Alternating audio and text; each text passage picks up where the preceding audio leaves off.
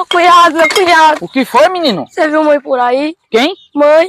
Rapaz, já faz uns três dias que eu não vi sua mãe. O que foi que houve? Homem, ela saiu de casa e não voltou mais não. Já faz três dias que a gente tá procurando ela, ela não, ela não apareceu. Minha sogra sumiu de casa? Sim. Três dias? Sim. Rapaz, foi o último dia que eu vi ela também, meu pai. Menina, você já procurou ali pra banda da Cacimba? Já procuramos em todo canto. E cadê meu sogro? Não tá procurando ela, não? Não, não sei. Ela saiu aí também. Ô, rapaz, misericórdia. Que de- danado tem acontecido com minha sogra, rapaz? O que é que tá acontecendo? Será que ela tá com depressão? E g- ganhou esse mato aí? Tá perdida, meu Deus do céu? Não sei. Vai fazer o seguinte: você procura pelo lado do açude e eu vou procurar pelo lado da barragem. Quem encontrar primeiro, um chama pelo outro. Eu já tô preocupado. Minha sogra perdida, meu Deus do céu. É um perigo. Vai por aqui, vai. Não tá vendo, meu Deus do céu, que eu vou sair daqui do meu canto. Vai procurar peste de sogra? Por mim, essa peste fica perdida nesse mato, não vem tão cedo mais, meu Deus do céu.